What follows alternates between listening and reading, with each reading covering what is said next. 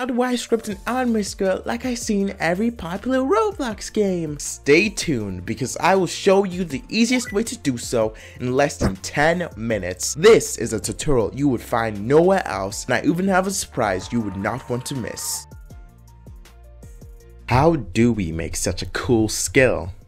Easy. We have two scripts, a local script, a server script, and a remote event to connect the two. To begin, create a local script and starter pack, a server script and server script service, and a folder with a remote event and replicated storage. Name the folder remote events and the remote event armor remote.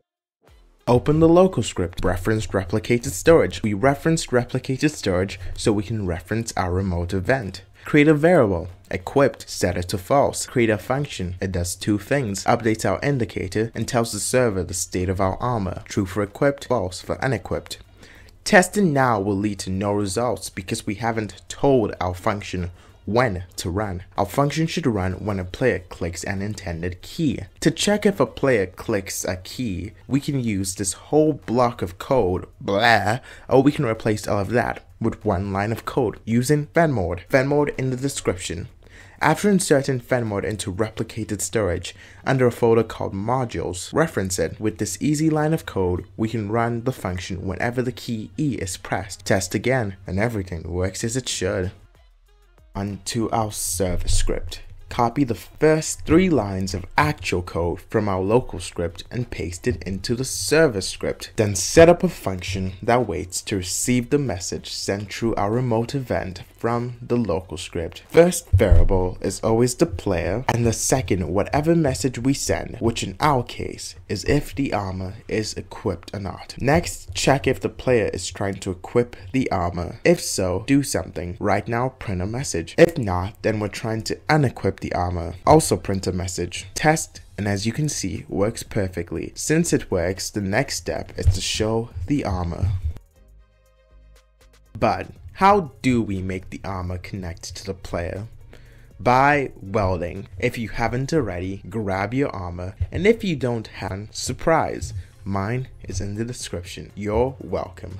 But stay tuned because I do have another surprise you don't want to miss. Weld the armor parts to the rig part you want to connect to, using any way that's most comfortable to you. Just make sure the weld is located somewhere in the armor, its part 0 is the armor piece, and its part 1 is the rig part. I personally like using Easy Weld. To use this plugin, select the armor part, hold control, select the rig part you want to weld to, and click Easy Weld. Like that, we have our weld. Do the same for each piece of the armor until it is all welded. Here is what mine looks like for reference. Making sure all parts of your armor have CanCollide and anchored set to false and massless set to true. Drag your armor into replicated storage. One more important thing publish your game, go to game settings, avatar, and set it to whatever rig you used.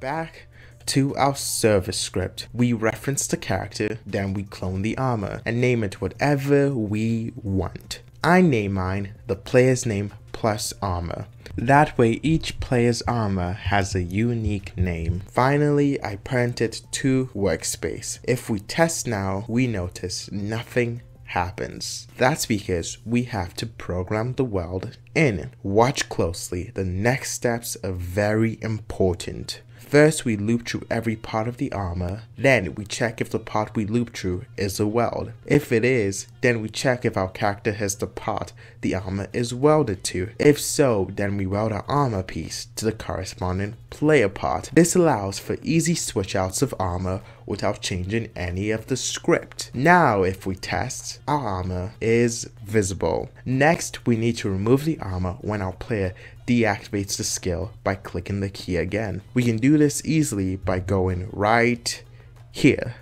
The else of our if statement. First, referencing the armor using its unique name and checking if the armor exists. If so, destroy it. Test and it works. But wait, wait, wait, wait, wait. There is still one last part of the armor you won't want to miss. We find everything works fine, but the activation and deactivation is clunky. By tweening its transparency, we can have a much smoother effect. First, let's tween its activation. Below checking if the part is a weld, we can check if the part is a base part. If it is, then we make the part invisible. We make the part invisible so through a transition or a tween, it becomes visible creating a fade in effect. Let's make the armor fade out when we deactivate it. Where we destroy the armor, replace the line of code with a loop through every part of the armor. Once again, we check if the part is a base part. If so, we tween its transparency to 1. Then if your armor has particles like mine does, you want to check for that and disable it for a nice transition, for a nice transition, for a nice transition instead of the particle just vanishing. Then to give our transition ample time to take effect, we use game debris to destroy the armor in half a second. Don't leave yet because there's a surprise coming soon. Now we test it and as we can see, it works amazingly well. As a thank you for sticking to the end, here is another free armor Shout out to Phoenix Xera for generously providing. Link in the description. Name randomly. If you enjoyed the video, try checking out this video on my channel you might also enjoy.